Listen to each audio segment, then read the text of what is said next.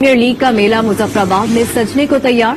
Stadium में तमाम तैयारियाँ मुकम्मल कर ली गई। शायकीन का जज्बा भी दीदनी है।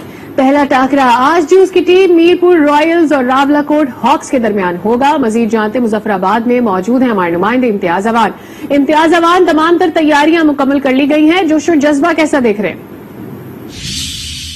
खेलो आज़ादी से ये स्लोगन आज हकीकत का रूप धारने जा रहा है। कश्मीर प्रीमियर लीग की तैयारियाँ अपने आखिरी मराहल में दाखिल हो चुकी हैं।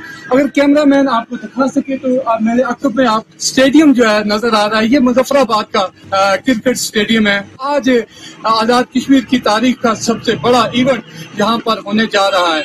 आज शाम छह बजे के पी एल की इफ्ताही तकरीब होगी और उसके बाद यहाँ पर जश्न का सुमा होगा और आज रात साढ़े आठ बजे। आज न्यूज़ की टीम मीरपुर रॉयल्स और रावलाकोट की टीम के दरमियान एक कांटेदार मुकाबला होगा। और अब इंतज़ार है मुजफ्फराबाद के शहरियों को, और अब इंतज़ार है आज़ाद कश्मीर और पाकिस्तान के क्रिकेट के शायकीन को कि छह बजे यहाँ पर जो इफ्ताही तकरीब होगी और उसके बाद जो कांटेदार मुकाबला होने जा रहा है, इसमें कौन सी टीम जो है फतेह का ताज अपने साथ पे सजाएगी? जी।